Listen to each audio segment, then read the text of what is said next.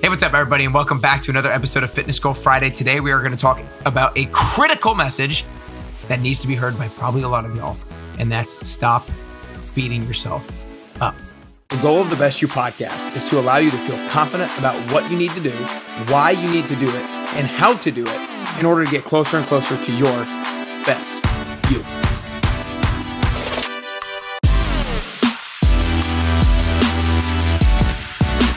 Hey, what's up, everybody, welcome back to another episode of Fitness Goal Friday. Today's message is something that is absolutely critical, and it's something that I've included into my 10 week transformation because of how much that I have seen it over the years. And that's this topic about stop beating yourself up. All of us are so critical of ourselves on a regular basis when we see ourselves not living up to maybe the standards that we set for ourselves, or maybe it's just standards that other people are setting for ourselves. And so when we see ourselves falling short of not being who we could be or not being who we should be, then we very quickly criticize ourselves. And this is detrimental for two reasons. One, it's bad for the relationship that we have for ourselves. And number two, is that it doesn't help you moving forward. So let's talk about that first one real quick. It's bad.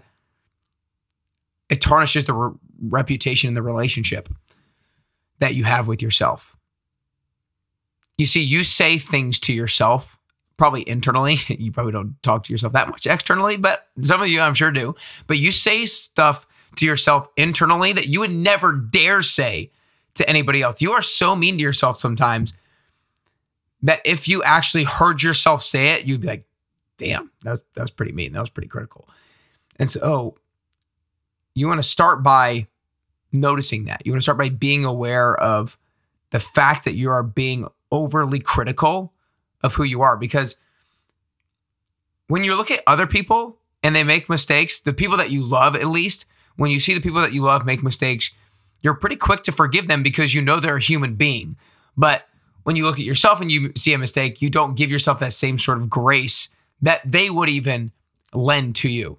And so you want to start off by realizing it's really important to give yourself grace. It's really important to realize that you're not perfect. It's really important to realize that you're going to screw up. And so it's not about perfection, but it's about progress. Now, if you're making the same mistakes over and over and over and over and over again, something needs to happen. You need to come up with a different strategy. You need some other help around you, some other assistance.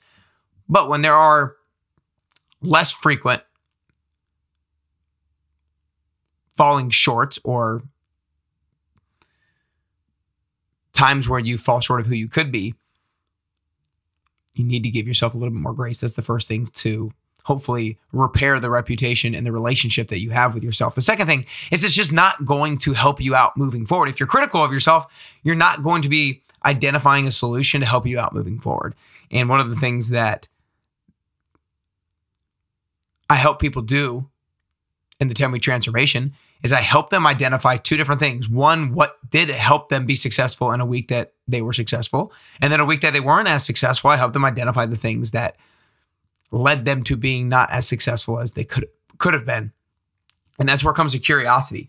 There was one girl, I always give this, always love this example. There was one girl who was frustrated with herself when she hopped on an accountability call with me and she was frustrated because she had missed a couple of morning workouts the previous week and she was like, "Oh, like I missed the morning workouts, but I'm going to be better this week. Don't worry."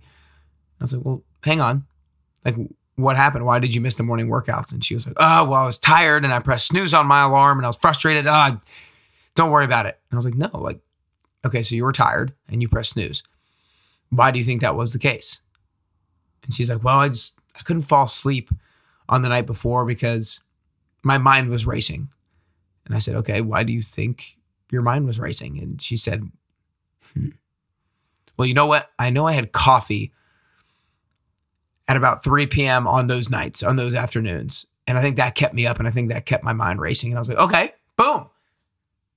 That allows us to actually take action moving forward. Okay, let's make the commitment this next week of not drinking coffee past 2 p.m. on the days before that you work out. And that's exactly what she did. She didn't have the coffee. She woke up, did not press news, and got her workouts in. And so if I had approached her with sheer criticism and just beaten her up and tried to strong arm her into being more disciplined the next week, that would not have been helpful at all. Now, it could have been maybe helpful for a week, but it wouldn't have been a long term solution. It might have put a band aid on it, but it wouldn't have been a long term solution. But if I could coach her and teach her how to be curious as to why she maybe fell short, then she could identify things that she can then game plan against moving forward. Because I think so much about being successful is on the front end, forecasting out and identifying potential excuses and potential obstacles and challenges that could present themselves in the upcoming week, and then identifying things that you can do to hopefully overcome those excuses, obstacles, and challenges. And so if you are starting the week off and you look at the upcoming week and know it's going to be a really busy week at work and you know you're not going to be able to get the same workout schedule in, well, okay,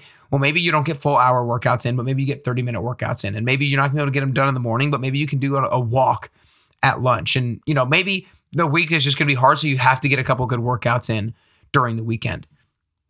And you can only identify those things if you are curious as to how to set yourself up for success. So when you go to hold yourself accountable, with whether or not you followed through on something that you said you were going to do. You need to approach yourself with curiosity rather than criticism. A couple of other examples that I like to give with the curiosity over criticism is people will often go out to brunch or lunch or dinner, whatever kind of meal it is, with their friends, or they go to a concert or a, a sporting event, and that gets the best of their diet, right? They'll have nachos, they'll have fries, they'll have burgers, hot dogs, whatever it is. And so one of the things that a lot of people are identifying about themselves is they only really have those. They don't even really want them that much, but they only have them because they're hungry and it's there. And so one of the things that they have been able to be curious enough about is like, okay, I'm just really hungry. I don't really actually want it. I'm just hungry. And so the commitment, the pill to make in order to overcome that excuse or obstacle is to eat before going to that sporting event, to eat breakfast before you're going to Easter brunch to make sure you have a good snack before going out to dinner so you're less likely to order the unhealthy thing. You're only able to identify those things if you're not as critical of yourself and you are curious as to how you can improve moving forward. That also goes for curiosity when you're successful. That's one of the biggest things that people forget. You hear oftentimes people say, you want to learn from your failures. You want to you want to learn from your drawbacks. Of course, you want to do that, and most people know that. Whether or not they actually do it is is another story. But most people don't even know or don't even realize, and definitely don't take action on learning from their wins and learning from their successes. The Alabama Crimson Tide, the New England Patriots, they don't learn more from their failures because all they do is win. So they learn from their successes. They learn like, okay, what did lead us to winning this game? What did lead us to winning this championship? okay, let's let's kind of do that again, right? That would be a good idea to do that again, to do the thing again that allowed us to be successful. So when you identify something in a particular week that did allow you to be successful, hey, maybe you should do that again. But again, you can only do that if you're curious as to why you were successful in the first place. So y'all, we have got to stop beating ourselves up. We have got to stop doing it. It is unhealthy with the relationship that we have with ourselves. And I actually just recently got off a call with a current client of mine. And I think one of the, I wasn't sure one of the best steps to overcoming that self criticizing that we are very prone to doing. But I think one of the things that I really realize when I have conversations with people is they'll give themselves actually some credit when I'm having conversations. Like, I, I know I'm actually doing pretty well. I know I'm doing better than I have in the past. I know it's not perfect, but I'm doing pretty well. I'm doing these things. I had this small win. I had this small win. My pants are starting to feel better. And I am eating healthier meals. My snacking still might not be on par, but I'm eating healthier meals. And so they'll identify things that are wins. And so they give themselves a little bit of credit. But if you only stay in your own little world, and you don't speak out loud some of the things that you're doing that are good, or you don't write down some of the things that you're doing are being good, then you can very much put yourself down. And when you put yourself down, you don't have, and just internally, you don't really have that outside third party perspective. But if you verbalize to somebody else some of the things that you say, or you write down some of the things that you say that are critical of yourself, you can hear it out loud or you can see it on a piece of paper and you're like, that is me. Nobody would ever say that about me. So why am I saying it about myself? So I think a big step is for those of you who are really critical of yourself is find somebody to speak to about these certain things or journal for 5 to 10 minutes on a regular basis as to how you're feeling. And you realize if you are writing critical things about yourself, then you're almost seeing it from a third party perspective. And you're like, man, why am I being so critical of myself? Like, I need to be easier on myself. I wouldn't expect these sorts of things out of anybody else. So why am I expecting it out of myself? I don't, and, and other, other people don't view me this way. So why am I viewing myself this way? Anyways, you got to stop being critical, critical of yourself and beating yourself up by most of the time when you're holding yourself accountable, approaching yourself with curiosity rather than criticism. I hope that helped some of you guys Give yourself some grace. Give yourself some damn grace, would you please? In the spirit of the Easter season, give yourself some grace, please. If you guys enjoyed this episode, make sure you share it with a friend or family member. I'm sure you know a friend or family member who beats themselves up on a regular basis, who is super self critical, and you feel bad because you just want them to see themselves the way that you see them. You feel bad because you just want them to see themselves the way that you see them. And if they did, Sure, they wouldn't maybe make a flip right away, but over time, they might gradually be able to have a little bit higher self esteem and a little bit higher self worth. So send this episode to them. Send this episode to somebody who consistently beats themselves up and who is consistently self critical.